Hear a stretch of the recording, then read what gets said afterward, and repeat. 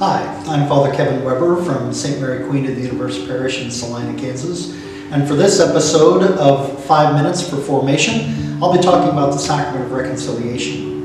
Reconciliation is a great gift of healing for the Church, and the Church encourages that everyone would use the sacrament frequently, regularly. Uh, now, technically, all one has to do is use the Sacrament of Reconciliation once a year um, before they receive the Eucharist at Easter time.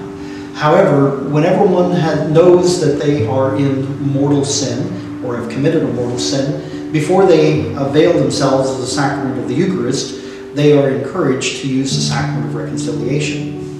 Unfortunately, in the church today, many people uh, choose not to avail themselves of the sacrament of reconciliation for various reasons. Um, one of the primary reasons, I think, is for fear.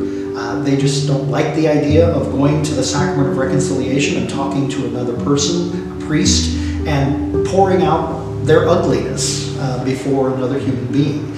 Uh, none of us likes to show the ugly side of ourselves. So we'd rather hold that in and just keep it in the shadows. Well, let me tell you, that's exactly where Satan wants it to be, is in the shadows. As long as it's there, he has access to it and can use it against us and can continue to drag us further and further into the darkness. Um, if there is anybody who recognizes the power of God's grace in the sacraments, uh, it would be Satan. Satan knows the power of God and that the sacraments are an instrument of God's grace that draws us back to Jesus Christ and to God. So he wants to keep us as far away from those as possible. So I believe, and I tell many people when they come to me and say, Oh, Father, I'm sorry, but it's been 10 years since my last reconciliation, uh, 15 years since I've been to confession, whatever it might be. They uh, tell me that, and I say, You know, Satan wants to keep people away from the sacrament because he knows how powerful it is. If it weren't powerful, he wouldn't care one whit if you went every day to the sacrament of reconciliation.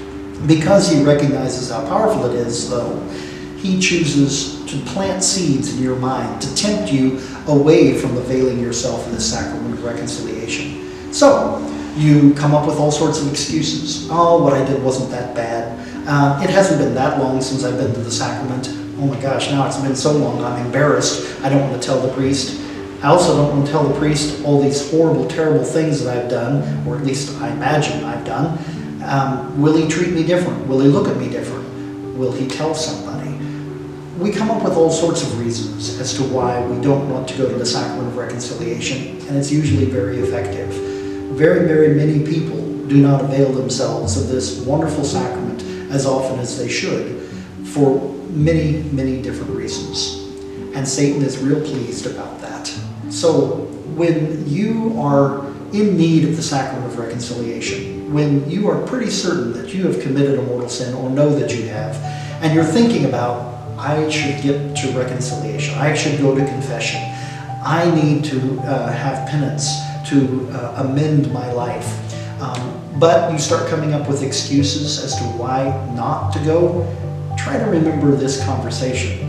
Try to remember that indeed, if Satan is working so hard to keep me away from the sacrament, then probably that's the best reason why I should get to it. Thank you and have a wonderful day. Hey everyone, I'm Colleen. And I'm Matea. We're your communications team at the Chancery office and wanted to thank you for watching our video. Make sure you like and subscribe and hit the bell down below so you can get notified every time we post. Woo!